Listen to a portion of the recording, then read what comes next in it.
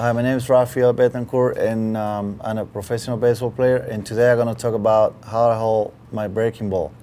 Um, you know, some some pitchers are different when they throw the breaking pitch. Um, some guys that hold it like in the seams are, are different too.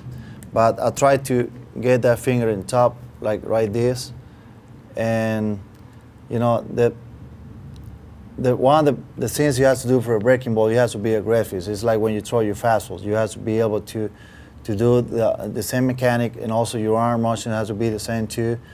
Um, you don't have to slow down your body to do that because that make breaking balls be flat. And what I try to do is uh, have a nice break, you know, especially with two strikes, and uh, or if I need to get ahead in the count with a breaking ball uh, it's two different signs. You, you throw for a strike zone, and the other one you, you you're trying to go, you know, out of strike zone. But um, you know, it's kind of it's kind of different for every pitcher. You know, some guys hold the ball like this with one finger.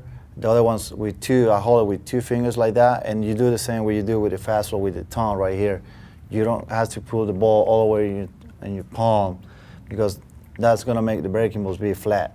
You try to to hold it like this and like I say, when you throw it, be aggressive, you know, be able to throw a strike with that pitch because it's, it's different when you throw a fastball and a breaking ball.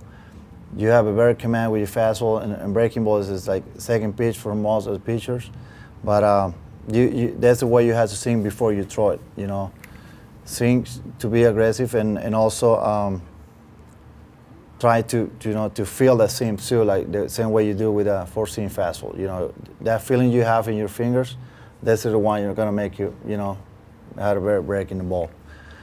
Um, thank you for um, Rafael Betancourt taking for um, teach you guys how to uh, hold a breaking ball.